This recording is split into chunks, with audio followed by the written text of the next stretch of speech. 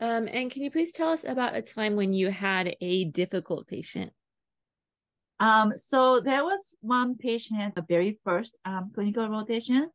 Um, she was known to be difficult. The uh, call light was on for a while, but nobody checked on her. So I asked my nurse if I it's okay for me to check on her. Um, so when I heard that, I first check in with my own emotions because I really don't like to drag any negative feeling to this patient. I want to be as clear as possible when I, you know, so that I don't make judgment in, you know, in the wrong way. I don't want to have a cloudy mind. So I did that and I introduced myself to this patient and I, I assessed her needs and she was basically really frustrated because she was patient and she developed the right side of hemiplegia and she was right-handed. Um, so I tried to help her um, to promote her ADL so she can promote, uh, she can do her ADL by herself, um, including like reorganizing furniture or some. It it wasn't major things that I needed to do, and she's she was saying some discomfort because she hasn't turned for a while. So I asked nursing assistant to help me because I was not familiar with the um, the changing position yet. So I asked help and we worked together. This patient was really, really thankful. And she said she felt like she was hard first time in this unit. So I was really glad. And this patient really was, you know, looking for me all the time, um, if she needs anything, but she wasn't really needy. She wasn't, she really needed something or she needed help. Then she asks, but yeah, after I get, I did the treatment, no, she did. She wasn't needy. We had a really good trust, re- trusting relationship. And I really enjoyed working with this patient actually. Okay. I graduated from accelerated BSN program. I am licensed RN and I am also an international board of certified lactation consultant, IBCLC. I also obtained a certificate called breastfeeding NICU infants and I have um, NRP and STABLE certified certification as well. I I am volunteering, which is a pediatric palliative home.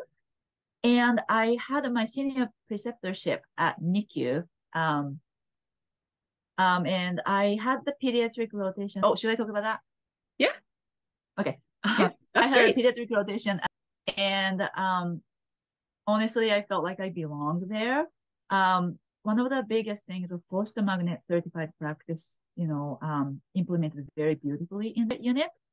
And also the other thing it was really impressed was the communication tools that PCares. It was very well utilized by everybody in this, in, um, in the medical staff team, um, including, you know, uh, child life, the music therapist, everybody was great at communicating to the patients and families. So that was something I was really inspired. And that's one of the reasons I really would love to work with. And NICU is, it's always my passion. Um, to support the family at the beginning of their life. So that's that's why I I apply for this position. Awesome. Awesome. Love that. And I'm going to go fast to see if we can squeeze in. I have like 50 questions. I'm going to just boom, boom, boom, boom, boom.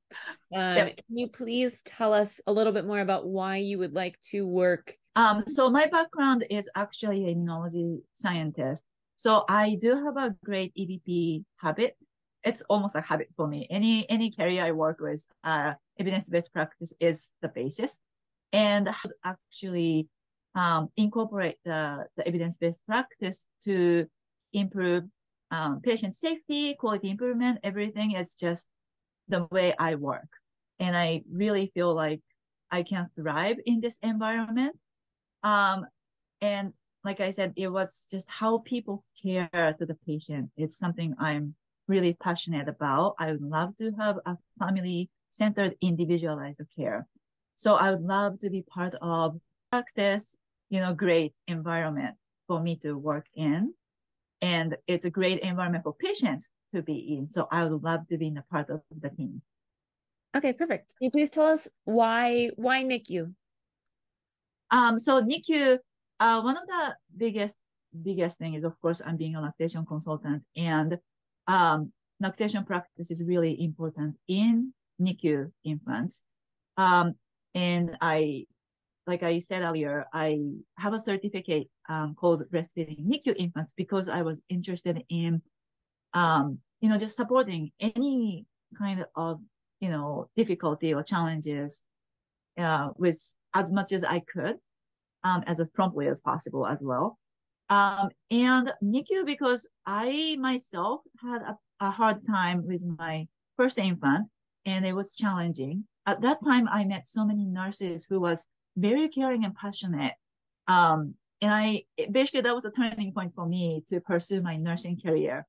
And I would love to be basically like them. Um, so I would love to support everybody who's going through a challenging time as a new family or new parents. So that's the reason why I would like to be part of NICU family. Okay. Can you please tell us about a time when you provided compassionate care or went above and beyond? Yes. Um, so when I was there was this patient who um, who just gave birth to premature infant, and she had because of the COVID there was a restriction, and there was only one overnight visitor allowed, and they had to be pre-registered. And this patient pre-registered person was her, but got COVID, so she couldn't actually come into the building um, she was really overwhelmed and also withdrawn. And I was having some conversation, trying to encouraging her, you know, just try to be active listener for this patient. And while I was talking to her, she got phone call and that was from her best friend. She just arrived. So, but it was after visitor hours. So I wasn't really sure what to do right away. So I talked to the charge nurse in the unit, just tried to escalate the concern to the charge nurse. And charge nurse escalated the mother to um, appropriate um, appropriate chain of command, and she got the permission to switch the the approved personnel so that she, the her best friend is now available to come in. And when she came in and I saw the patient face, you know, really lit and so happy, I was really, I was really thrilled. I was really glad that I could give that kind of care. And it was, you know, it was a little bit extra work, but it wasn't that much. And, you know, I was really, really glad that I could give them that kind of um, care in that setting. Perfect. Okay.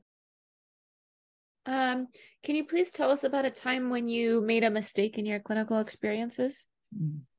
Yes. Um, I had this Spanish speaking patient who had on her femur and, um, I knew that. And I, when I passed by her bed, uh, a room, I noticed her crying on the, on the bed. And she, she was really limited in English. And I, because she was crying, first thing I came, it came to my mind was, was pain. So I accidentally, that was a mistake I made. Um, I asked her if she was in pain and she nodded. Um, so I called a nurse and nurse came in with the nursing assistant who speaks Spanish because she knew about this patient. And, um, when they had a conversation, no, she was not in pain. She was actually just missing a home. And I basically kind of disturbed everybody's work, work, uh, workplace. And I, I felt really bad. Um, I apologized to the patient and she was okay. She said she's okay. She knew I was just trying to care for her. And I also apologized to my nurse and nursing assistant. I'm so sorry, you know, sorry for disturbing their routine work. Um, and they were okay, but I also assessed my own, you know, doing. And I realized that I, I made the wrong assumption and I really should not make assumption without assessing the patient. And she could tell, she could have said that, you know, I'm not in pain. I'm sure she, her English was not, not that limited. So that was my mistake. And from there on, I'm really being careful not to bring my assumption. I will really ask, um, assess, I do assessment, uh, by using their, their patient's own words. So that's something I learned from this experience. Okay. Um, you can also mention, um, mm-hmm. it's, it's hard to tell, like, should you have, could you say something about using the translator or is her English like not bad enough that she needed it? It's kind of hard for me to tell. Um, it was really limited. Um, I could use like use. Uh, that's the thing about ESL. I think it's good for me to know what kind of words they know. So I I could communicate um, enough to tell her what I was going to do or something like that. Um, but yeah, she was quite limited. I think she was crying and I kind of panicked at the same time. But if I asked her, probably she could say, I don't know if she's going to say she was missing family, but she could say something to maybe maybe was... say um you know that you're you're gonna go find the the translator machine just to make sure if yeah um, if you yeah. think it might be a language barrier right it was for sure. Yeah, yeah. that's what i should do yeah. Yeah. Okay. Because just saying do you have pain? If she says yes that is your assessment you know? You did the right thing. Yeah i just kind of assessed i don't know. I felt like i you feel like you projected I, it onto her huh?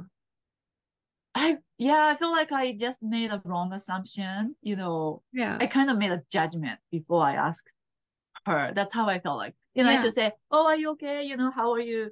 Are you feeling? You know, any pain? Maybe." But I said, you know, "Are you in pain?" That's the first thing I said, uh, okay. and I was like, "Eh, why did I do that?" You know. I think this is this is good. Um, just add the piece about um using the translator whenever you're like not one hundred percent sure mm-hmm. that they don't need it.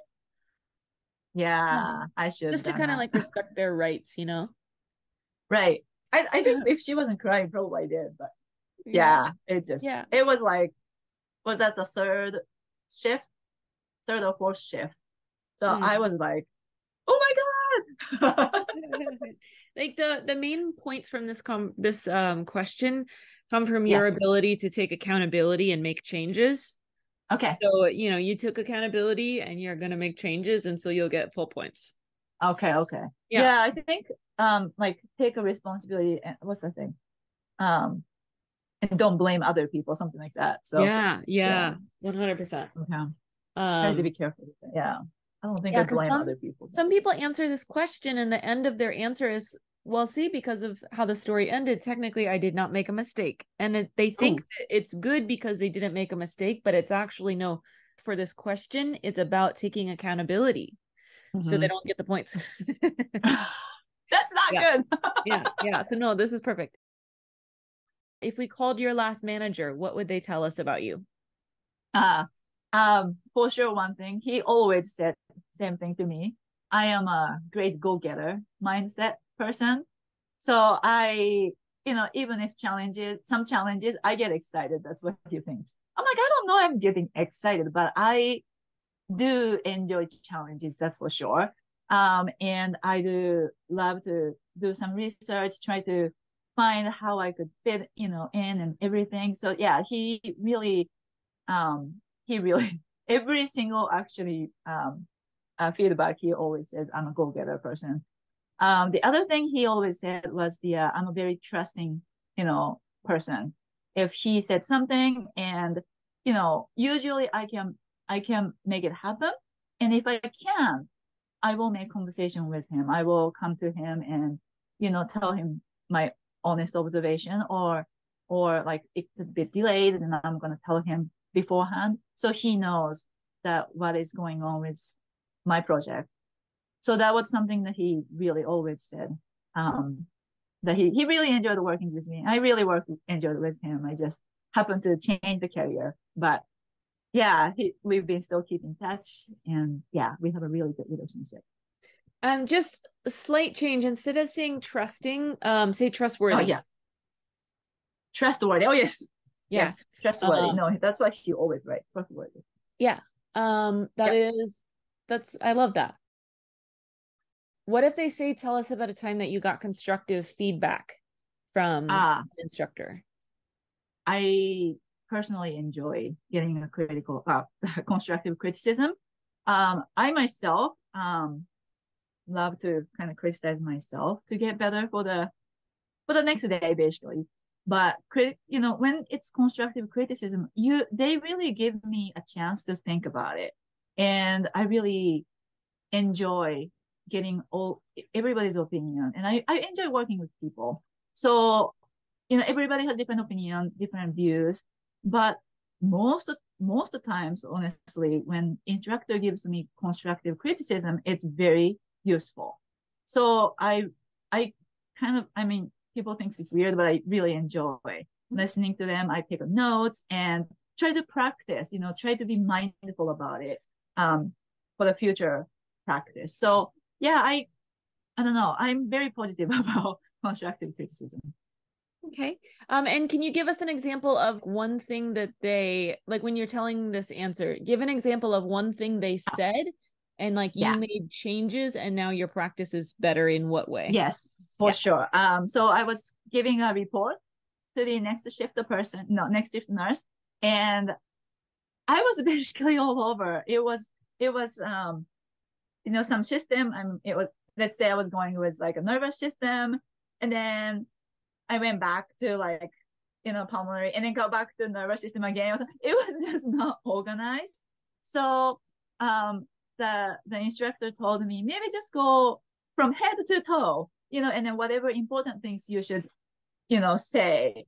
And if it's not important, you don't have to say because otherwise your report's going to take forever. And I'm like, okay, that's right. You know, I was so nervous because it was like one of my first reports. And, um, from then actually I she my my um my clinical instructor she practiced with me every week after the shift at least one patient.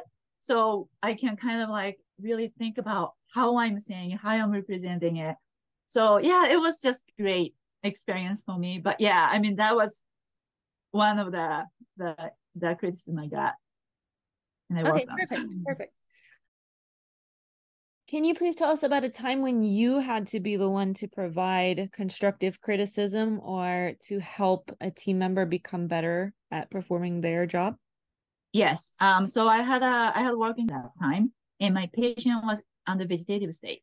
And this patient, according to the chart, there was no brainwave activity when we talked to her, but it just, I didn't, that's not my care. I always care for patient equally. And I was, it was telling this patient what I'm going to do, you know, kind of procedure I'm going to do. Just moving or wiping her face, anything. Um, so that day I had, we had a float nurse, um, as a break nurse and break during the, my nurse break, break nurse came in and I realized that she does not do any of those poking. Um, and I, I just felt uneasy, um, to work with her and I thought it was better practice to really, you know, working careful patient equally.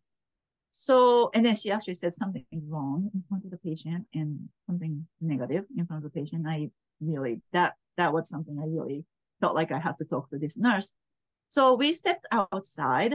Uh, she was charting and I told her that there is actually a note saying that her, so her eyebrow movement when she talked to her and, you know, I think for us professionally, we should probably talk to the patient, you know, what we are going to do together. Um, and just, you know, take care of her just like everybody else. And she looked at me and she said, well, I was going to say something like that. And I was like, well, okay. So I will, I was actually decided that I'm going to be a model, just be a model of high standard of care. And, um, she she stopped saying anything negative in front of the patient, but she didn't change as much. But I'm hoping that, you know, I, me speaking up a little bit, maybe she has some time to think about it and she could change for the future. Yeah. I like this. And then sometimes the points for this question is your, yeah. not only your ability to like, you know, stand up and say something when someone is talking to mm-hmm. a patient in a way that's disrespectful, but to give the criticism in a way that is gentle and supportive. So just yeah, say, okay. say something about like, you know, whenever I at the end, like whenever I give feedback to someone, um, mm-hmm. um, I just like to do it in a way that is supportive and I see, I see. Um, basically like like when I give feedback, my goal mm-hmm. is like I still want them to feel like I'm a good nurse afterwards, mm-hmm. not think like, oh, I'm a terrible nurse because she thinks like I said, you ah. know, so to do it in a way where they can still feel good about themselves. Right. You know? They know you believe yeah, okay. Them. Right, right, right. So, you know, I I love to give feedback in a way that is supportive um mm-hmm. and uh doesn't convey judgment on on the person Right. just like uh kind of gives them tools to work with to support them Right. Yeah. Okay, I'll think about that. I didn't. Yeah. I just so like they know like in the future like whenever you give whatever advice you're going to do it in a way that the person still feels like confident after you know Oh yeah, I mean, I I told her, you know, I thanked her for you know helping me for this and that, and you know, there are so Yeah. skills that I didn't know that she taught me.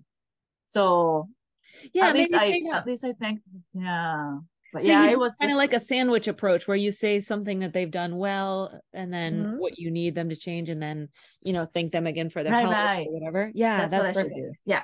yeah i like that Okay. because a lot of people say like what do they say like the sandwich thing right i don't know what you call it yeah, it's always like common. praise first and then or praise Yeah. negative praise kind of thing. yeah 100% can you please tell us where you see yourself in one in five years Okay.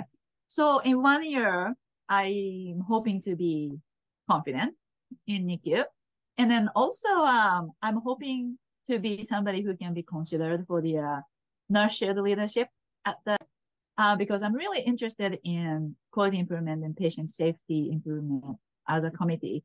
Um, and, uh, in five years, I'm really hoping to at least have a certified, um, RNC-NIC.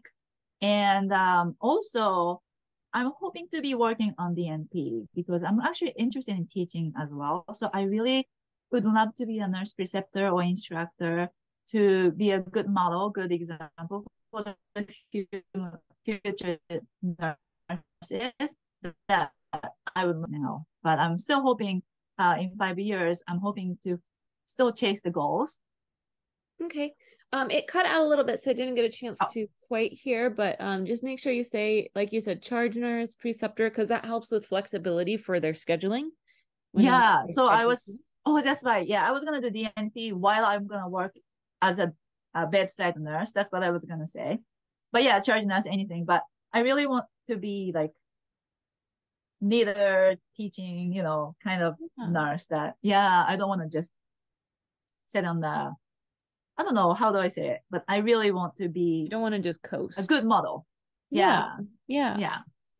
Um, what if they say, um, Mhm. you know, if you accept this position, it requires a two-year commitment. Are you agreeable to that? Yes. I have no idea. I'm going to commit for five years.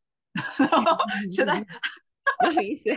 No, you say, How should I I say this? retire here. Um, I seriously, forever. I have, I'm, this is my dream job. So I'm like, no, yeah, of course. But, um, they say something like, "We only have um, night shift available. Do you have a preference, days or Oh. nights?" no, not at all, actually. I'm kind of interested in night shift anyways. Um, but yeah, I mean, I've only worked in day shift so far for clinical rotation, but I'm actually interested in night shift as well. So no, I don't have any Okay, preference. Is that okay? I really actually Yeah. don't. no, that's good. Okay. So I had this um elderly female patient and she happened to have a male nurse that day. Um, and she did not want her male nurse to come into her bathroom. So she, she needed somebody to support her, ambulate her to the bathroom, but she didn't want male patient, male nurse to do it. So I was there. So I helped her. She was really grateful. Um, and I talked to her. She said, um, nobody but my husband really should see me in the bathroom. And I go, oh, that's so sweet. And, um, we actually built a good relationship with this patient. Um, and I don't think the nurse switched, but in, the end, somehow I was taking care of her a lot more than what happened, but yeah, her nurse. And, um, we actually did her walk because she didn't want anybody to, any male to touch her either. So PT wanted her to walk, but she didn't want male nurse. So I was, you know, walking down the street with, I'm walking down the hallway with her and we really helped each other. And she was, she was very happy about, um, the situation. I'm sorry. I didn't talk about, I didn't mean to talk about the nurse switch, but something happened and I can't remember the whole story, but I'm just going to say that I was there to support her need and, you know, Yeah. desire. Yeah.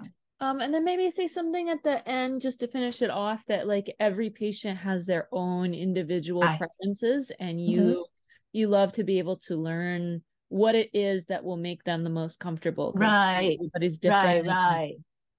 Yeah, that's one of the first thing I I try to ask. You know, is there anything I should know about you know your culture or your background? I mean, it's just yeah, there's so many. So yeah, yeah i will do that. Yeah. Um, and sometimes for the patients who are nonverbal, like when you you can't the, the translator isn't really going to help because they can't talk. So when you see like their family, you can ask like what are their favorite foods? Like their appetite has not been good. Like what what do they love? Like Yeah. Well, that's what I do for the uh, um the palli- palliative care house because yeah. all non almost all of the kids are nonverbal. yeah. and I basically have we we have this chart that it's it you know it doesn't talk about of course disease or anything, but it talks about what the kids likes, and we kind of like you know play around what he might like this day, she might like that day. You know, it's and it, they are nonverbal, but they can communicate in a way um that you can tell that they're not happy or you know Yeah. they need something or they're very happy. Mhm. So yeah, that's something Yeah. I do.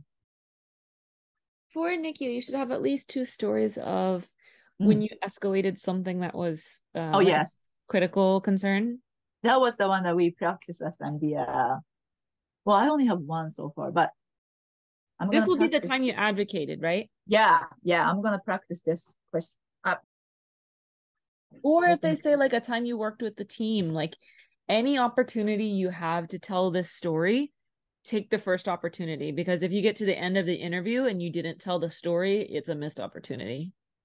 Yeah, I really want to say at least this diabetic patient uh, that I included everybody and the uh, you know somebody in the team contacted the pharmacy and we verified the D50 this time. I'm not gonna say sucrose D50, and Mhm. I Same idea.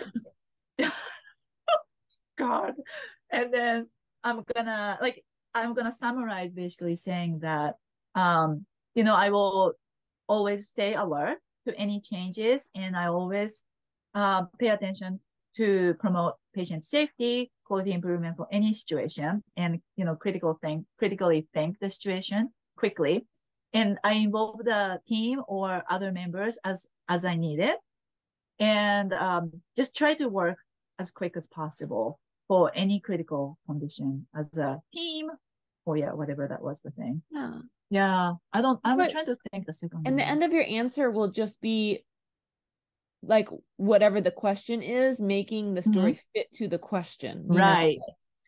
whether it's about teamwork or whether it's about advocating or whether it's about like you know you could talk about how with the NICU you might have a lot of patients who uh, are nonverbal and like noticing things like diaphoresis can clue you Mhm. in because their body still communicates you Right, just right, have to right. get better at noticing those things and being observant Right, right. and that that's one of the things that you love about this patient population is the ability to really develop those skills hmm Yeah, I have to think about the NICU patient really. I mean, we didn't have emergency, emergency. Well, we had emergency C-section and the baby was born basically like,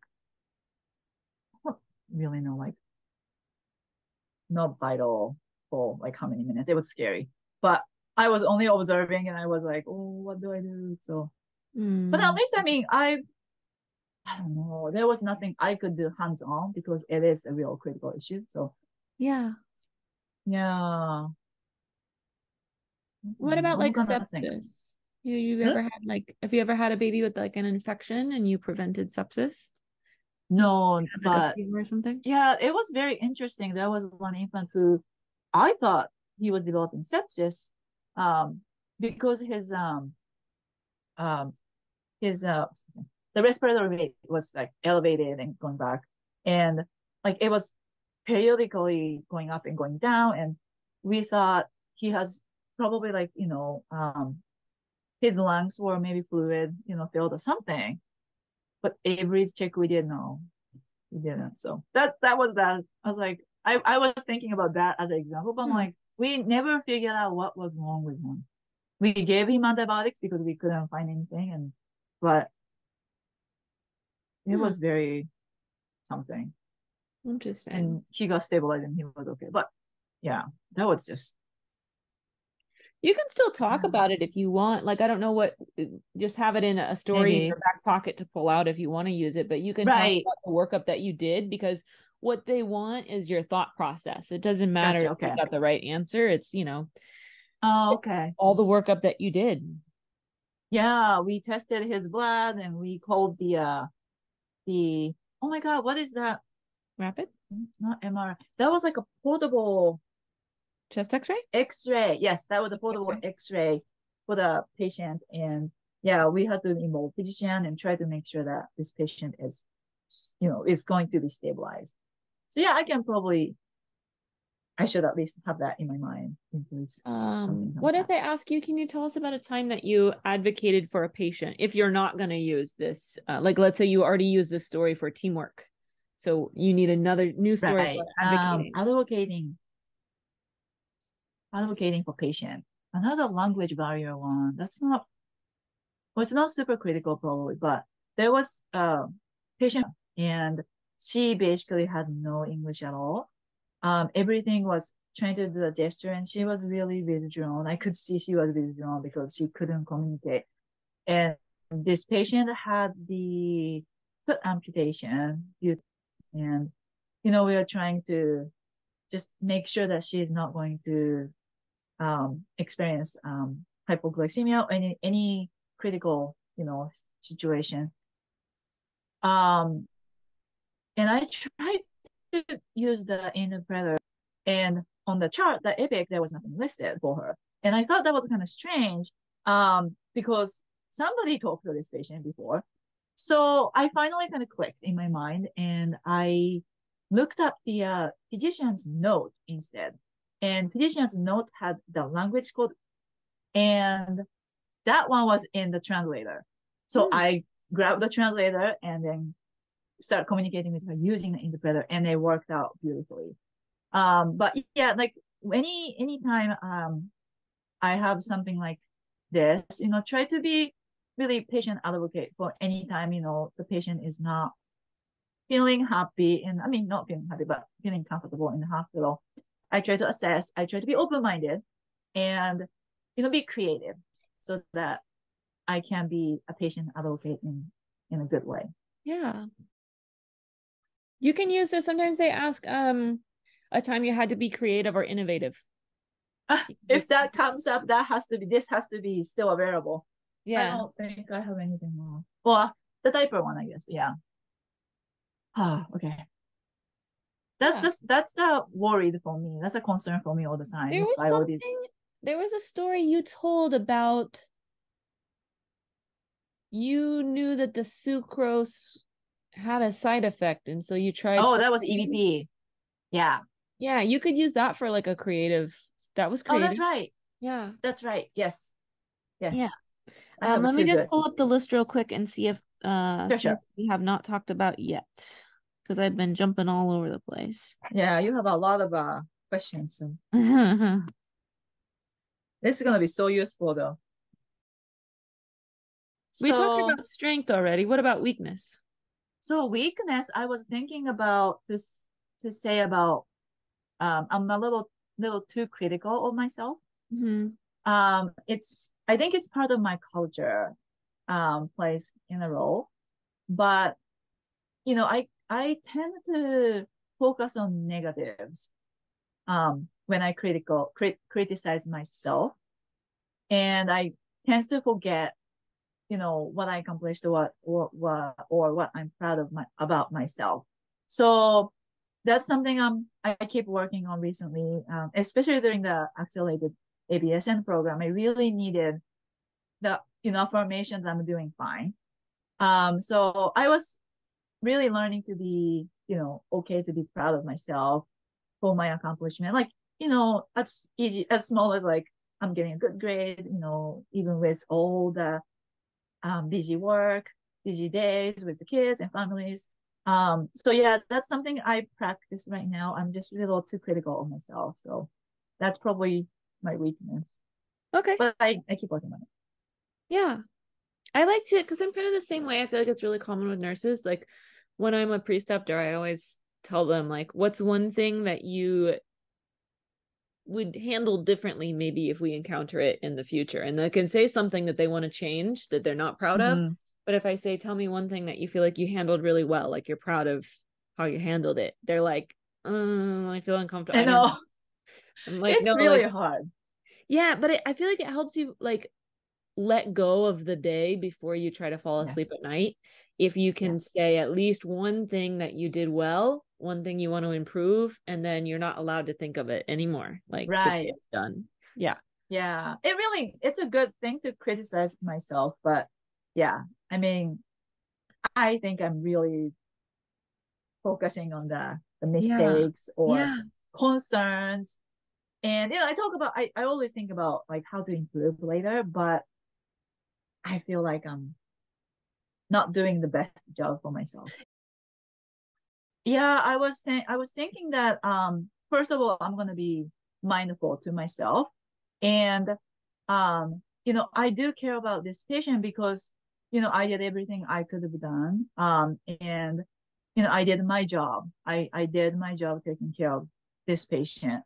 Um, that's why I care about this patient's death, and I do uh, practice self self um how do I say um self um self care so that I can do like I do like you know work. Um, I try to do it by myself or dogs that somebody not talking to me.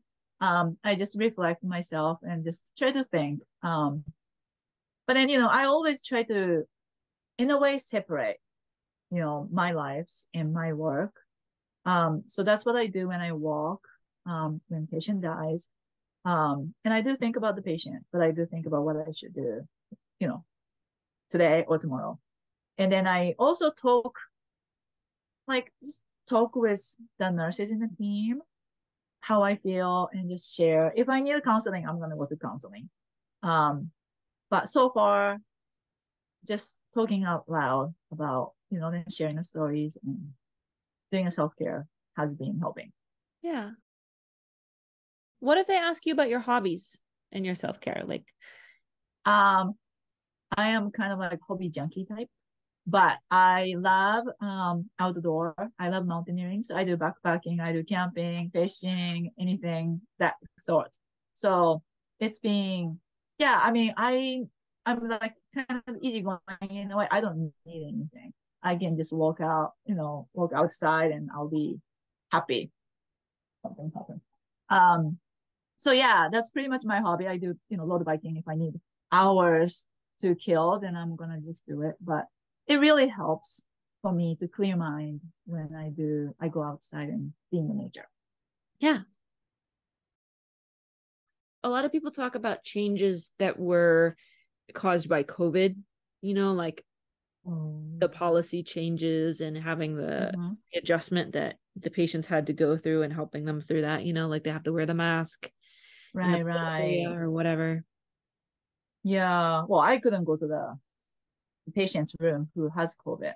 So I had to be creative and I was basically chatting right outside the door. So mm-hmm. my nurse, if needs, he needs anything, I could go get it. He doesn't have to, you know, ungown up and ungown again and stuff.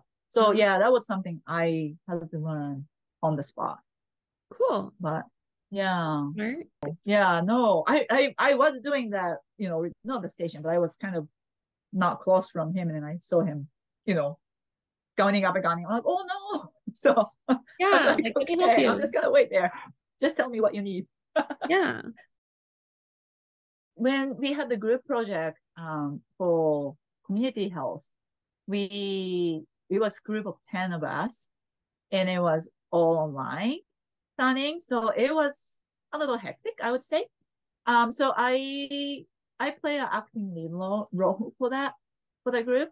And I basically created, um, a group, not shared documents, uh, like a presentation, uh, Google, Google, Google slide and, uh, Excel also so that we can kind of like keep eye on our update.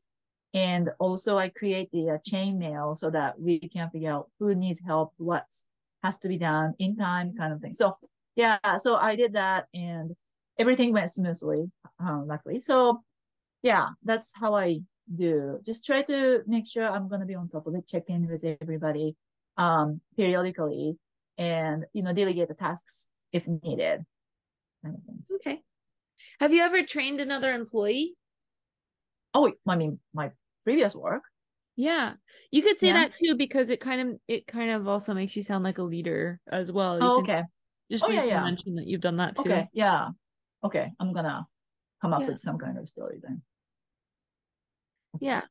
Cause that kind of um because I'm thinking how do we bridge uh, sort of what you talked about and it would be maybe like doing audits or maybe you're the the committee leader for something and they I'm like mm. how mm-hmm. does how is this useful for the manager right there are okay. ways that it kind of translates but then also like training employees right you could be uh the preceptor you could be the uh you could take nursing students and like if you're a leader enough that your old employer wanted other employees to be trained exactly like you you must be a good employee if mm-hmm. they want to copy you you know yeah yeah yeah okay yeah no i think both both are good.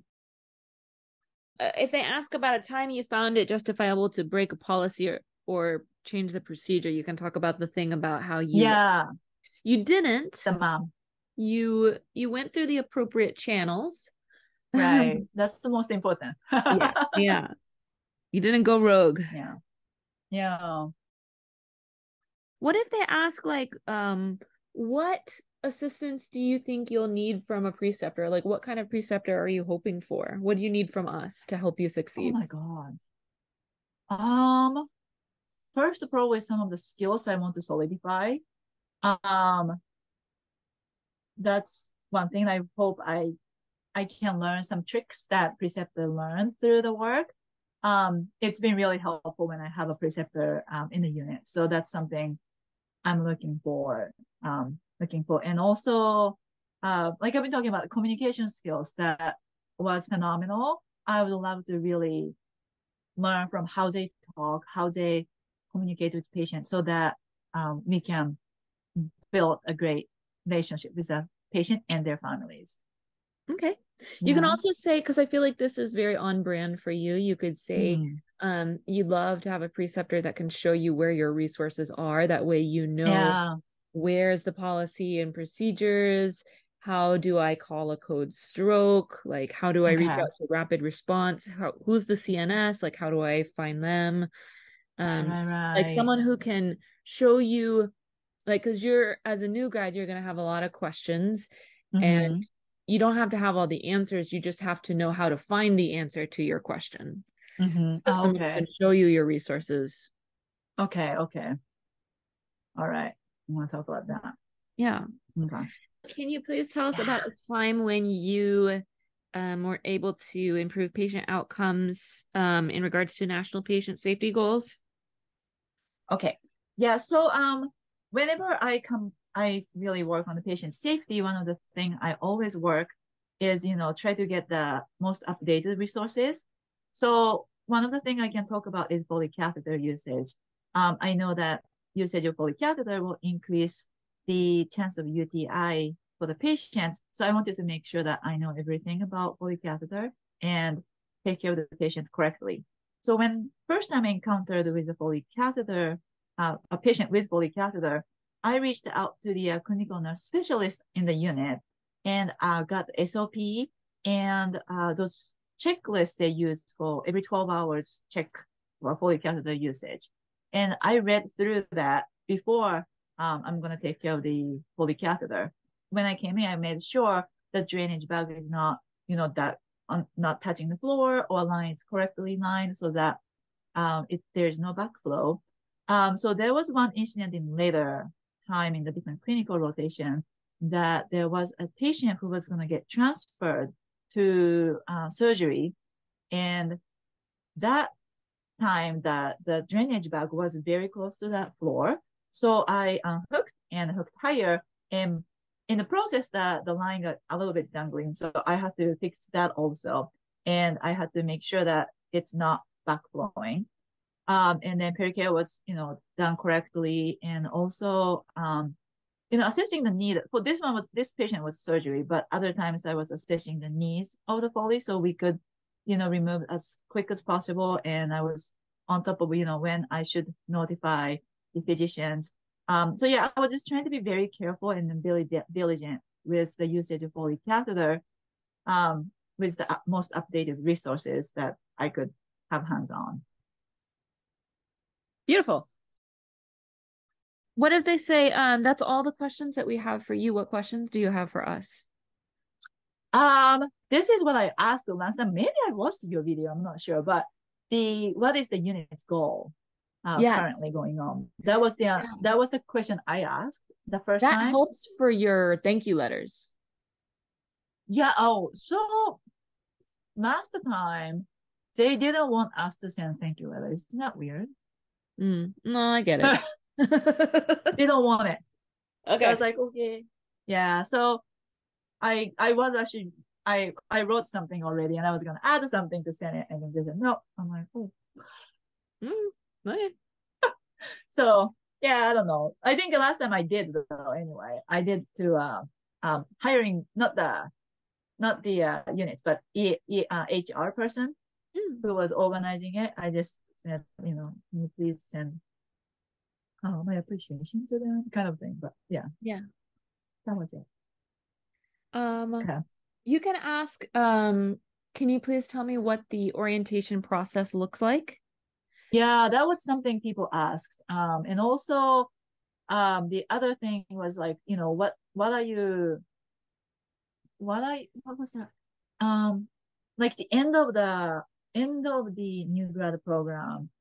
Um, what what are you expecting us to be accomplished kind of at, mm-hmm. at that point kind of things. I don't love that um because then it's like know, what's was, the bare minimum you know? Not yeah i was i feel like what could be better is like what do you feel are the qualities that make a really successful new grad? Yeah that would be great. Yeah. Or yeah, um if i were to get the job what would be the best way for me to prepare in the meantime? Yes i asked that in the second interview. Yeah